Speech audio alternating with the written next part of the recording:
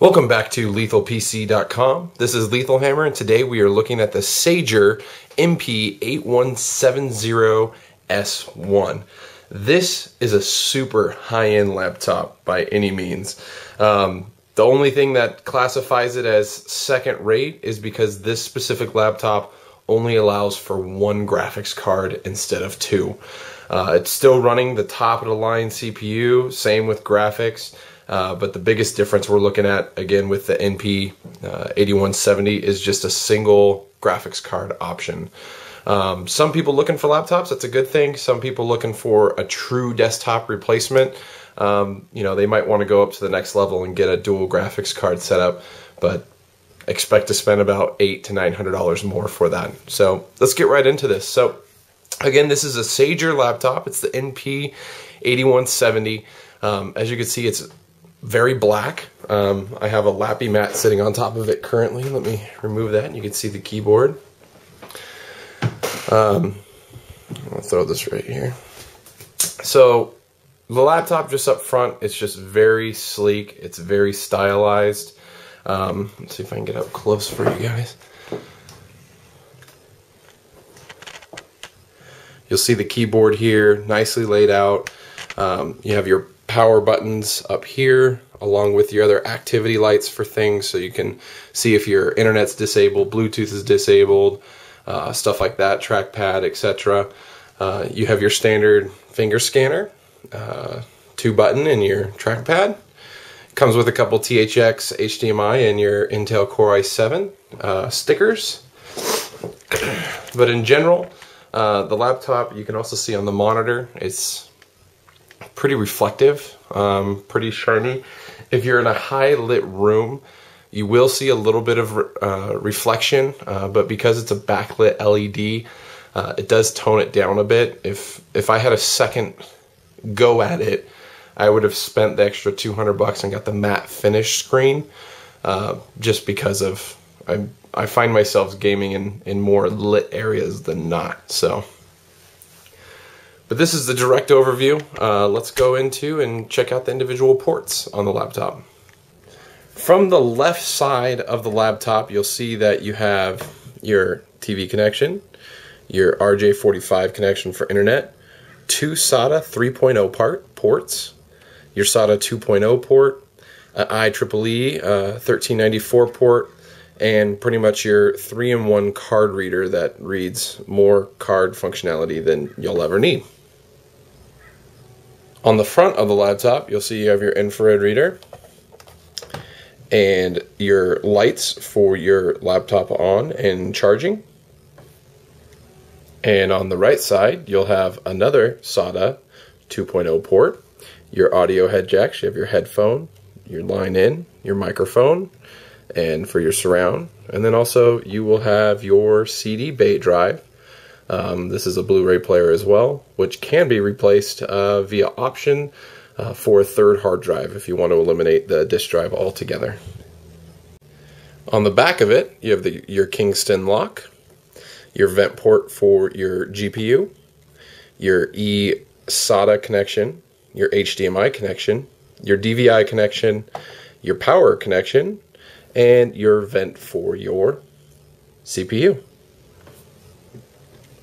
Again, just taking a, a closer look at the keyboard, just like most high-end laptops out there, you have a lot of options with your function key. You'll see your function key is right down here. Most of the interactive keys, again, are your F, you know, your F1 through F12, and then a couple others lingering around. But you'll see you have your turn off your trackpad, extend your monitor, uh, mute, sleep mode, uh, volume down, volume up. You also have your dual monitor switching brightness uh, up and down. Turn on your camera, which is up here on top of the screen. Um, turn on and off Bluetooth, turn on and off uh, internet connection. You have your scroll lock, num lock, and then obviously your, your page up and page down down here. Uh, pretty standard keyboard layout. It does have a full function numpad, numpad off to the right side. And again, I, I loosely touch base on the interactive. Your power button is right here and again highlights if your uh, laptop is locked, um, battery, uh, wireless, and Bluetooth Uh, I believe it has hard drive light LED as well. Um, the other cool thing is, again, with a laptop like this, is the microphone is right there.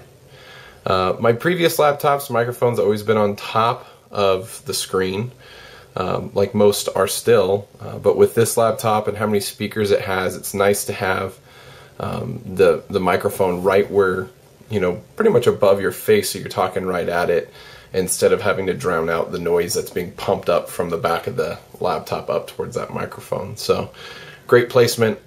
I think it's better overall. So, one thing that should definitely be brought up is how big the power supply brick is. This thing is ginormous. Don't get me wrong, um, compared to an iPhone.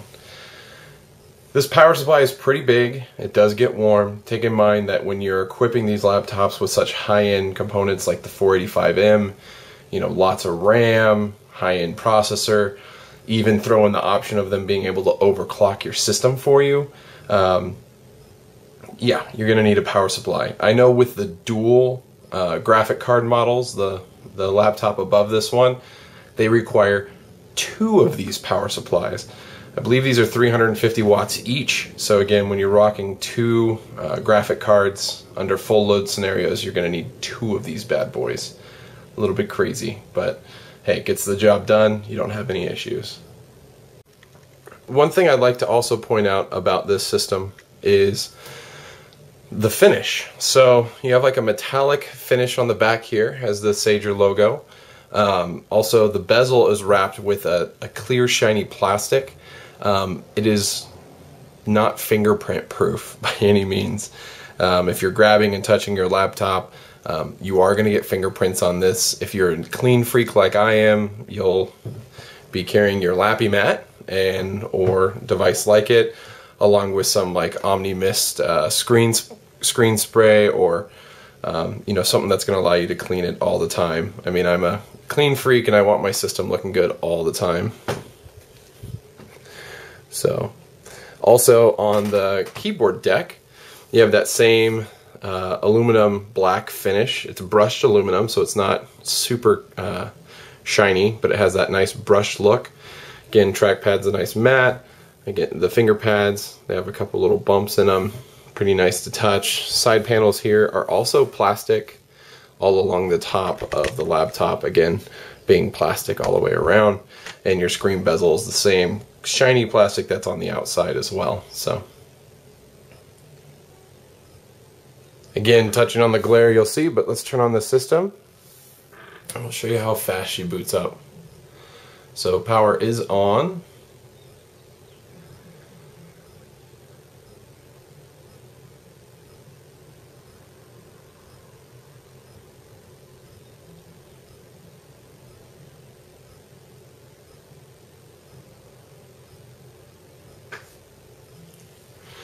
See, brings you right into the fingerprint scanner. And we're at the desktop. You see, this system loads very quickly. Uh, as most of you know, I'm an NVIDIA fan, so obviously, why not support the company I, I love? So I got my desktop with the NVIDIA logo. But there you go, startup time is super fast. Another thing to look for is the shutdown time of a laptop. Uh, a lot of users don't realize how long some of these laptops could take to shut down. So showing the muscle and the power of a SSD, let's go ahead and shut this down. There we go, just hit shutdown. Powering down. And she's off. Very fast shutdown times. Um, again, solid state drive in a laptop, almost a must have for your primary drive, especially for all your programs and stuff like that, launching wise. Programs launch in a snap, system boots up, system shuts down fast. Uh, you can't go wrong. Um, I would definitely, if you're going with a solid state drive, back up your your primary data like documents, pictures, videos on your backup drive. So it's good to get a nice big hefty backup drive like 500 gigs or bigger if you can, uh, and save those files. So in receiving this laptop, just want to go over some of the details and cool things that Sager did. Um, they package this laptop to ship to you very well. Um, there's no need to worry about shipping in, unless FedEx or UPS in your area just drop boxes and are clumsy and roll over them with forklifts or something. But in general, um, the laptop is shipped separate, so there's two compartments in the box that's actually double boxed. The laptop's surrounded in plastic covering. The screen has a hard plastic cover on it. Um, there's tape uh, with just plastic all over everything so it doesn't get scratched, and then it's wrapped in a nice plastic bag, and then they have it surrounded with foam. Um, and then in the separate compartment, you have this laptop bag, which is as generic as they come that will have just about all your your incidental items inside of it. So let's open it up and I'll show you what it comes with. So the front bag, so you see it comes with, they give you like a, a micro suede cleaner in there. Also comes with a HDMI, or I'm sorry, DVI to VGA uh, for those of you running old monitors that want to utilize them. Um, you get your uh, Blu-ray disc for your Blu-ray drive. Windows 7 Home Premium. I already put Ultimate on there. And your device drivers and manuals. I'm sorry, device drivers and manual. So pretty straightforward. Um, also the the bag, the as I saw you earlier, the, you saw how big the power supply was. So knocking over the camera stand. The power supply came in this box along with the battery. So they made sure that power supply was going nowhere. Definitely nice and padded, and it was inside the the black bag. So if you're uh, if you're super crazy about a bag and want to travel with it, this can get the job done. Um, but if you check out my other review on the Keekin uh, 18 inch shoulder bag, uh, that is the bag I'm using to travel with. A lot more padding, just better bag overall. You can check out the review on our channel. Um, I would endorse that bag 100%. This bag, on the other hand, generic, don't travel with it. Maybe if you're going to a buddy's house, yeah, but I wouldn't go on a plane with this bag. Here we go, back after a 3D Mark Vantage run. Uh, score was 13,545. Definitely a high end laptop score. To put it in uh, perspective, I pulled up uh, one of my buddy's reviews with an HP EliteBook 8740W. Um, it's a workstation, it's running a Quadro 5000M, which is no slouch of a graphics card by any mean, and it got a 7,747. So literally, we got pretty close to doubling that score with the GTX uh, 4. 85M. So 3D Mark Vantage. I'm going to do some uh, one-off uh, benchmarks again through the channel, so watch for those. Uh, but overall, that's the review of the Sag Sager uh, laptop. Appreciate you guys watching, and uh, always check back for more at lethalpc.com.